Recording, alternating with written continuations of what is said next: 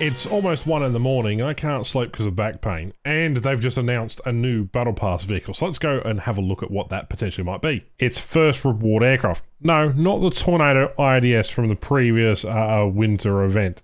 Instead, what we're getting is, get ready for this, this is an absolute laugh, a Bf 109 F4 for Italy. Which is completely not unique. Is exactly the same as the American uh, 109 F4 Exactly the same as the in-tree variant.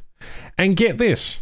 This is an aircraft you can get for free right now in the German tech tree.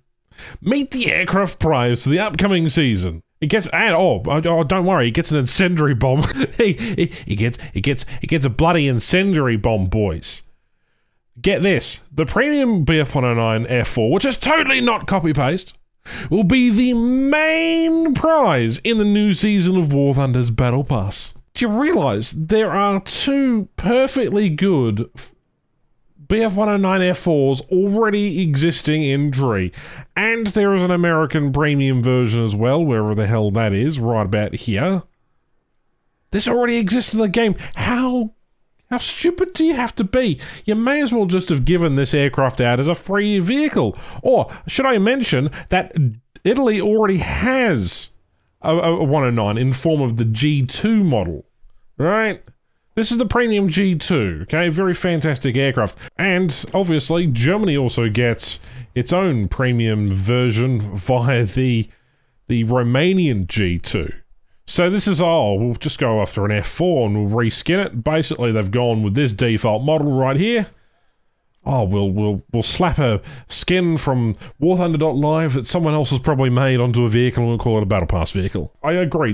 I can hear some of you going, but it's it's a Hungarian vehicle, it's Italy. Yeah, that's important. That really is an important factor here. It's not exciting and it really should be a free slash first reward vehicle.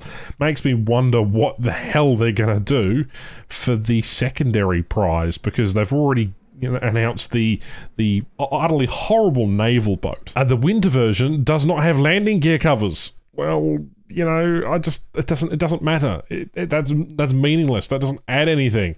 And in addition, the, the machine gun pods and the high explosive bombs, the Flam C-250 incendiary bomb appear in the arsenal of suspended weapons to destroy convoys of light vehicles. Fantastic. So we can go napalm things at battle rating 4.0. Patrolling the upper floors is a boom and zoom, vigorous vertical dogfights. This is what the F4 was designed for. And yes, it is a beautiful aircraft and it will be a collectible aircraft. But I don't know if I want to do 70 bloody levels or how many levels? 65 bloody levels in order to get something that I can already acquire in tree. But the fact that it doesn't have landing gear covers and and an incendiary bomb called the Flam C250.